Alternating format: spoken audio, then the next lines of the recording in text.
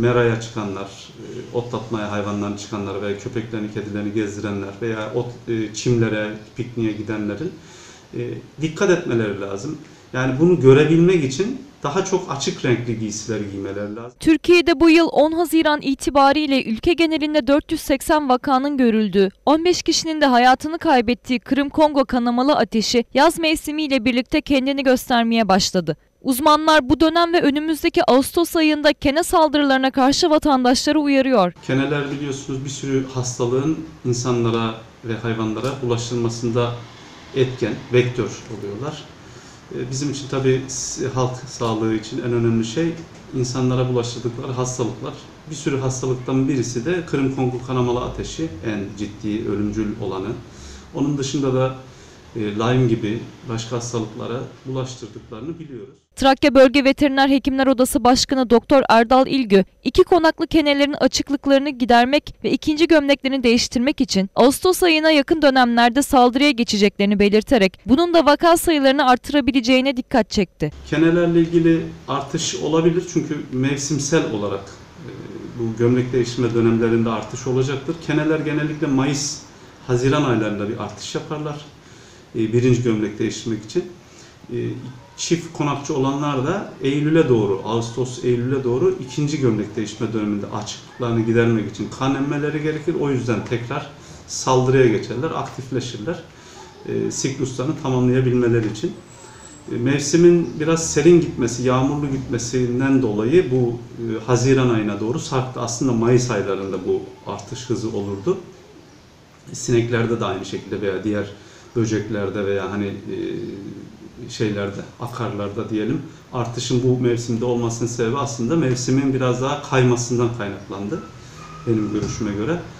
E, keneler e, tabii ki hem insan hem hayvan sağlığı açısından bu evcil hayvanlarımız için sığırlar, koyunlar, köpekler, kediler için ve insanlar için çok hastalıkları bulaştırma açısından önemli. İlgü, pikniğe gidecek vatandaşların çok dikkatli olmalarını isteyerek özellikle beyaz giysilerin tercih edilmesini, paçaların çorap içine sokulması gerektiğini söyledi. İlgü, kenelerin vücuttan çıkartılırken öldürülmemesi gerektiğine dikkat çekti. Meraya çıkanlar, e, otlatmaya hayvanların çıkanlar veya köpeklerini, kedilerini gezdirenler veya ot, e, çimlere, pikniğe gidenlerin e, dikkat etmeleri lazım. Yani bunu görebilmek için daha çok açık renkli giysiler giymeleri lazım ki küçük olurlar bir de keneler. Hani biz kan emmiş olan, vücuttan artık düşecek olan büyük keneyi görüyoruz genellikle.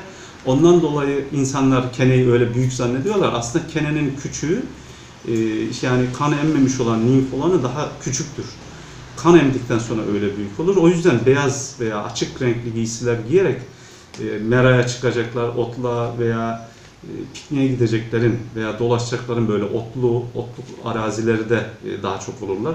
Betonda şurada burada pek olamazlar.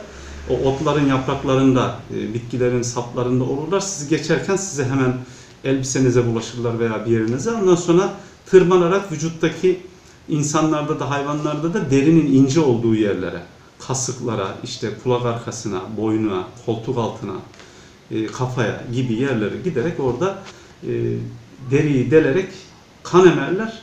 Ondan sonra da kan emdikten sonra kendi vücuttaki salyalarını, tüpçüklerini vücuda verirler. İnsan veya hayvan vücuduna. İşte onu verirken hastalığı bulaştırıyorlar. Tehlike orada.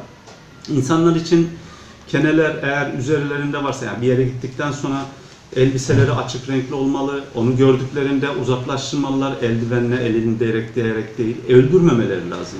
Kesinlikle keneleri böyle ezerek sıkarak öldürmemeleri lazım. Elle de dokunmamaları lazım. Çünkü eğer elle ezerlerse işte o zaman o virüsler e, veya bakteriler varsa veya parazitler varsa eldeki sıyrıktan veyahut da deriden direkt geçebilir. Deriden genelde pek geçmez ama sıyrık olur, hafif erozyonlar olur, oradan geçerler. Bunlara dikkat etmek lazım.